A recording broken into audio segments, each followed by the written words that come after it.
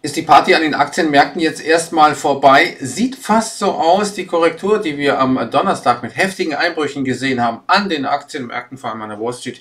Am Freitag dann eine leichte Erholung, aber heute geht es wieder nach unten und es ist die Angst vor der zweiten Welle des Coronavirus, äh, dass äh, die Aktienmärkte hier stärker unter Druck bringt und ähm, naja, das hat sich so ein bisschen angekündigt. Wir haben das äh, gesehen, eigentlich schon in den letzten Tagen. Es sind die neuen Fälle hier vor allem im Süden der USA, wie in äh, Kalifornien und äh, vor allem Florida, Arizona, diese Staaten, Bundesstaaten in den USA, wo es ja eigentlich warm ist, wo normalerweise man erwarten könnte, dass die Sonne das Virus vertreibt. Dem ist aber nicht so. Wir haben praktisch neue Rekordzahlen, vor allem in Florida und das ist etwas, was die Märkte doch äh, schwer verunsichert. Wenn wir uns das mal anschauen, hier die äh, New Reported Cases by Day in the USA, da sehen wir hier, ähm, es geht wieder nach oben.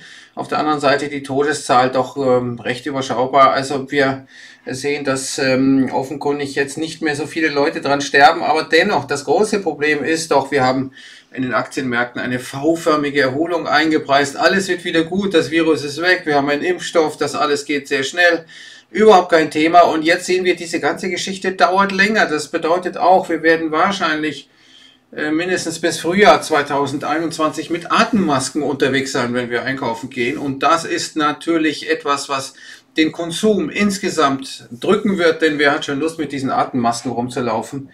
Äh, da kommt kein Einkaufsspaß äh, auf. Schauen wir uns mal hier die ähm, Zahlen an, die Hotspots an in den USA wo das Coronavirus besonders aktiv ist, sondern sehen wir hier in dieser Gegend. Da ist jetzt der neue Hotspot, ist er im südlich, südöstlichen Teil der USA, hier Mitte Florida, Mitte Texas, die Gegend um Houston herum. Und das ist etwas, was die Märkte jetzt äh, ziemlich verunsichert. Wir sehen hier eine Projektion von Morgan Stanley, wie eigentlich die ganze Geschichte weitergehen sollte mit dem Coronavirus. Und da rechnet man eigentlich, dass bis September die Fälle praktisch gegen Null tendieren. Wir hatten jetzt gestern, respektive Samstag, 25.000 neue Infizierungen alleine in den USA. Äh, wir haben weit über 2000 in Florida und Florida hat äh, ein Viertel der Einwohner um und bei von Deutschland, 20 Millionen etwa. Und man hat über 2000, das wäre in etwa so, als würde Deutschland 10.000 Fälle haben, haben wir aber nicht. Wir haben naja, so durchschnittlich 400, vielleicht mal 500 äh, in letzter Zeit, aber jedenfalls sehen wir hier die Projektion, es geht runter, runter, runter und dann kommt vielleicht eine zweite Welle, ähm, die man bekämpfen muss im Herbst und dann kommt irgendwann die Vaccine, also die, äh, der Impfstoff. Naja, das sind Wunschgedanken. Äh, und diese Wunschgedanken hatten eben auch die Aktienmärkte und müssen das langsam einpreisen, dass das äh, möglicherweise nicht so ist. Jetzt kommt noch dazu, was vielleicht auch noch äh, verstärkend ähm, für diese Schwierigkeiten der Aktienmärkte jetzt zu Beginn der neuen Woche äh, verantwortlich ist. Das ist äh, vor allem, dass auch in Peking wieder Ausbrüche der Fall sind. Sechs Märkte sind dort geschlossen worden. Wenn man sich mal anschaut, es sind jetzt 79, inzwischen 80 Fälle von Corona Infizierten, die in Peking jetzt ähm, der Fall sind, dann ist das natürlich im äh, größeren Kontext der chinesischen Bevölkerung von 1,4 Milliarden Menschen gar nichts. Aber man hat eben jetzt auch Teile Pekings wieder abgesperrt und es ist die Sorge, dass im Grunde diese ganze Geschichte sich jetzt fortsetzt, man wieder zumachen muss, zumindest teilweise wieder zumachen muss. Und das ist etwas, was die Aktienmärkte überhaupt nicht auf dem Schirm hatten, dass partiell zumindest, vielleicht nicht landesweit, aber partiell immer wieder Lockdowns ausgesprochen werden müssen. Wir sehen, dass äh, hier immer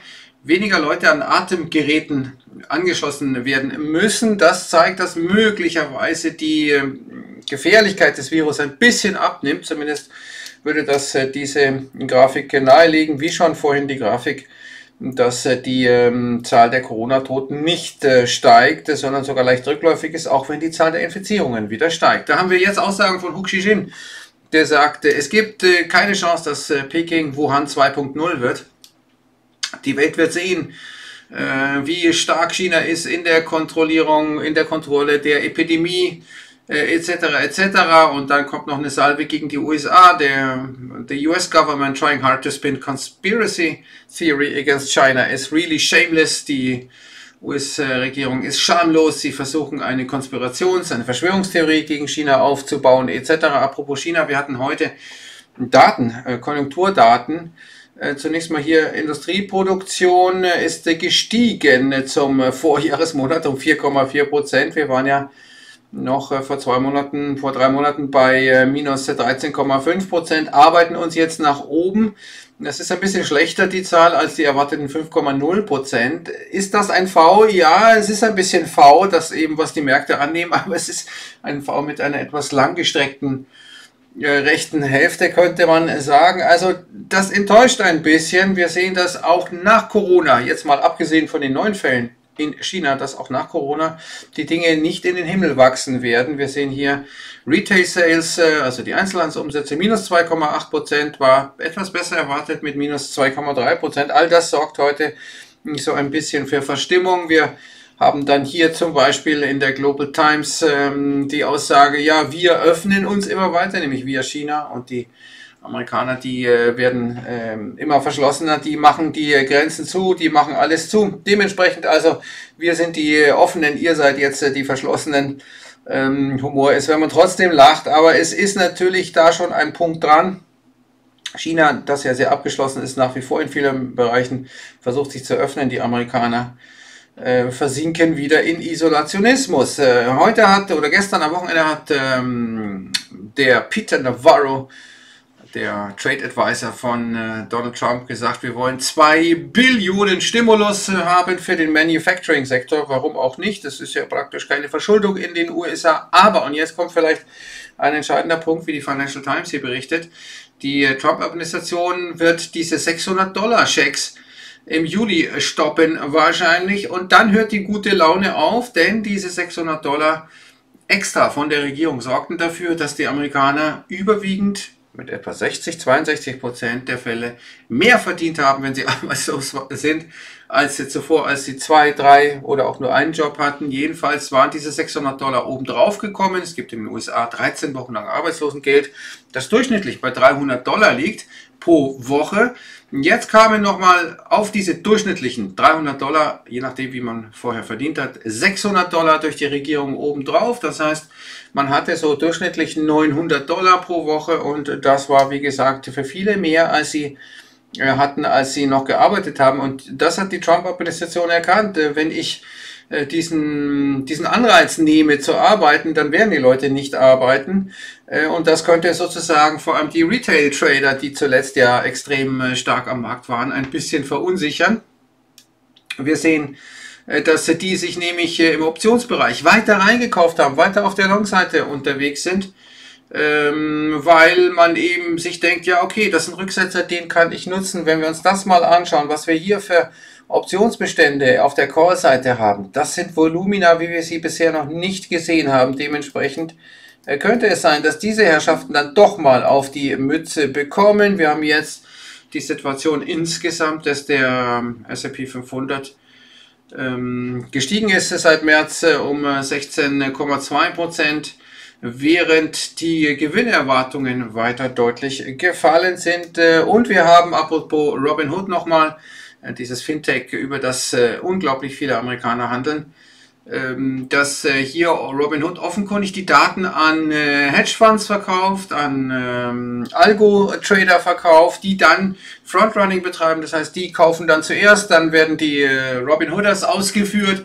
und so verstärkt sich eine Bewegung, die nicht alleine eben durch die ähm, Retail-Kunden, also durch die Privatinvestoren erklärbar ist, dass es so stark nach oben gegangen ist an den Märkten, sondern und das sind offenkundig Wechselwirkungen der Fall, dass dann äh, Hedgefonds mit äh, High-Frequency-Modellen davon profitieren, dass die praktisch einen Sekundenbruchteil früher dran sind und dadurch dann äh, Gewinne erzielen. Wenn die anderen kaufen, dann geht man schnell wieder raus, hat trotzdem die Gewinne im Sack das ist die Logik. Inzwischen sehen wir, dass Robinhood öfter erwähnt wird als Vanguard. Vanguard ja mit der größte Anbieter von ETFs. Das heißt, wir sehen, dass Robinhood so ein bisschen an die Stelle der ETFs tritt derzeit, äh, die jetzt lange auch ganz, ganz schwer in Mode waren. Insgesamt sehen wir, dass das Marktsentiment, wie hier die Citigroup zeigt, immer noch im euphorischen Bereich ist. Auch wenn die Leute oft in Umfragen sagen, ja, ich weiß nicht, ob die Aktienmärkte steigen, aber es gibt eben einen riesen Unterschied zwischen dem, was sie sagen und dem, was sie tun. Das, was sie tun, das können wir an den Märkten sehen. Dementsprechend äh, sollte man diese Differenz im Auge behalten. Insgesamt haben wir jetzt die Situation, dass natürlich die Verschuldung auch in Europa massiv nach oben geht. Äh, Italien dürfte jetzt 155 Prozent Defizit haben. Äh, zum BIP. Deutschland dürfte jetzt mit diesem immensen Stimulus, den wir gemacht haben, es gibt kein Land der Welt, das in Relation zum BIP so viel Stimulus staatlicherseits betrieben hat. An zweiter Stelle kommt Singapur. Die USA sind noch dahinter. Äh, aber dennoch bleiben wir hier in Deutschland locker unter der 100%-Marke. Da hatte man eben ein bisschen mehr Spielraum, aber es wird jetzt teurer. Wir müssen mehr bezahlen, um die EU-Mitte zu finanzieren, nämlich der Beitrag wird um 42% steigen, der nach Brüssel überwiesen werden muss. Und wenn wir uns hier mal anschauen, wer profitiert denn eigentlich von der EU? Wer kriegt also mehr ähm, Subventionen als er einzahlt, dann sehen wir hier Polen, wir sehen Ungarn, wir sehen Griechenland. Äh, Deutschland hat mehr eingezahlt, als man rausbekommen hat. Großbritannien, auch die Franzosen. Also wir sehen, hier sind die Profiteure, Rumänien, äh, Bulgarien. Also es ist Osteuropa, das sehr, sehr stark davon profitiert. Und die Frage ist, wie lange das so noch finanzierbar ist. Schauen wir uns mal die Dinge in den Charts an und wir sehen hier, der DAX, der ist unter Druck. Wir sind hier im 4-Stunden-Chart äh, beim DAX 11.622 Punkten. Es geht relativ schnell, es ging schnell heute Morgen, da ging es massiv nach unten. Da muss ich das mal ein bisschen hier fast nach oben scrollen. So schnell ist das hier nach unten gegangen. 24.678 der Dow wir sehen, dass auch die Asienrampe ausfällt. Der Dow hier im Stundenchart dargestellt. Die Asienrampe ist weg. Was ist da los? Plötzlich also ist etwas anders. Wir sehen den S&P 500 bei 2950 Punkten. Eigentlich eine wichtige Unterstützung. Und diese 2950 wurde als Korrekturziel genannt, wenn wir ein ähnliches Muster wie 2009 erleben. Ähm, jetzt sind wir schon da. War es das jetzt mit dem Abverkauf? Wir sehen Gold aktuell bei 1719. Kann nicht von dieser Schwäche der Aktienmärkte profitieren. Eher im Gegenteil, wir sehen Euro-Dollar bei 1,1243 und der Crude Oil ist bei 34,68, ist also auch ein bisschen unter Druck gekommen. Das soll es erstmal gewesen sein. Eigentlich wollte ich ja heute schon die erste Sendung mit Realtime-Kamera wieder machen. Aber dann hatte ich ein technisches Problem, mit dem ich überhaupt nicht gerechnet habe. Das ist aber leicht behebbar. Ich versuche heute Abend also wieder vor die Kamera zu treten und Ihnen einen Quasimodo Light äh, zu zeigen, äh, der dann über die Märkte berichtet. Und ich, äh, man kann gespannt sein, wie das heute weitergeht.